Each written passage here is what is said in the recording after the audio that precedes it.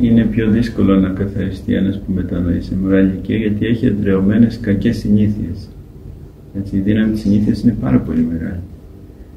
Και έχει να παλέψει με αυτή τη δύναμη της συνήθειας, με αυτή τη ροπή που έχει μέσα του ας πούμε καλλιεργήσει προς το κακό, προς τα πάθη.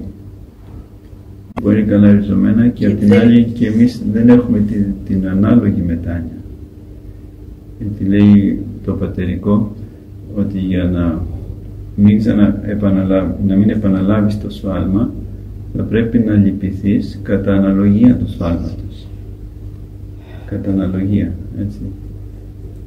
Δηλαδή όσο πιο σοβαρό, πιο βαρύ είναι το αμάρτημα και όσο πιο πολύ χρόνο έχεις δουλέψει σε αυτό που σημαίνει πάλι είναι πιο βαρύ ε; Ε, τόσο πιο πολύ πρέπει να κοπιάσεις να δείξεις μετάνοια, δηλαδή να κλάψεις να συντριβεί η καρδιά έτσι. Η Αγία Μαρία έκλαιγε πόσα χρόνια στην έρημο μέχρι να ελευθερωθεί από τους κακούς λογισμούς που είχε. Πόσα χρόνια δούλευε στην αμαρτία άλλα τόσα χρόνια έκλαιγε. 17 χρόνια. Ναι. και λέει μάλιστα άρχισε να κλαίει ας πούμε και συμπήρωνε σχεδόν 24 ώρα ολόκληρο.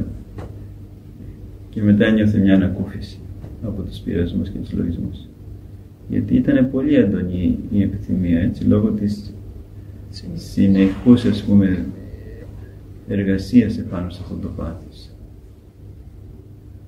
Γι' αυτό δεν είναι το ίδιο ας πούμε να κάνεις την αμαρτία μια φορά και να την κάνεις 50 φορές.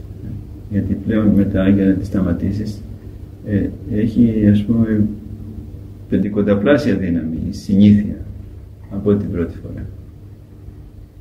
Για το λέει και η παροιμία ας πούμε ε, ή μικρός παντρέψε, μικρός καλογερέψε. Έτσι, όσο πιο μικρός καλογερέψεις, τόσο πιο εύκολα θα χαλιναγωγείς τα πάθη σου. Το ίδιο και στο γάμο, γιατί και ο γάμος ουσιαστικά ένα μοναστηράκι είναι. Έτσι. Και εκεί καλείσαι να κόψεις τα πάθη σου να κάνεις υπακοή στο σύζυγο, στην αντιστοίχο στη σύζυγο.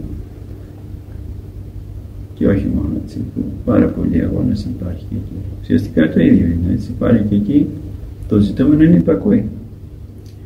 Και όσο πιο πολύ έχεις δουλέψει στην αμαρτία και στον εγωισμό σου, έχουν περάσει τα χρόνια, έχεις μεγαλώσει, έχεις αποκτήσει κακές συνήθειες, έτσι, τόσο πιο δύσκολα μετά θα, θα μπεις μέσα και στο μοναστήρι και στο γάμο, να ζήσεις σωστά δηλαδή και το γάμο και το μοναστήρι.